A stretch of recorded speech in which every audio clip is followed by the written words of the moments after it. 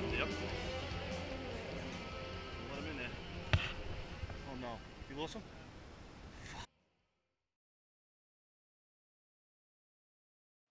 Great trip, boys. Hope we have a lot more to come. Good times.